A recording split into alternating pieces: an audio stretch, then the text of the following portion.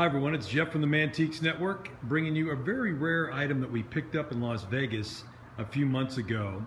This is a rare late 1800s African American Negro folk art Nodder retail display made of paper mache with its original clothing and everything else on it.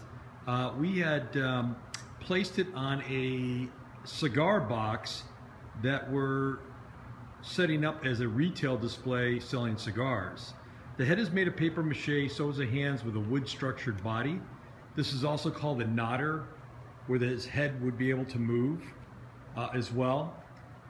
It's in very nice shape for its age. believe that the clothes are the original clothes that came with the unit. But um, very, very uh, cool and interesting piece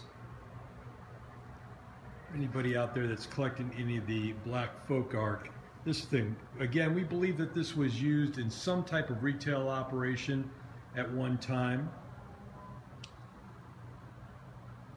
So if anybody out there knows more than we know about this piece, we'd love to hear from you to fill in the gaps that we might uh, have missed. Otherwise, it's a great piece for your collection or your retail operation.